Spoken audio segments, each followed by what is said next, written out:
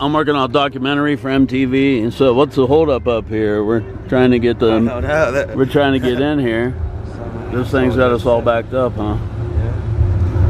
Shit, the traffic's backed up all the way down I-70. oh yeah.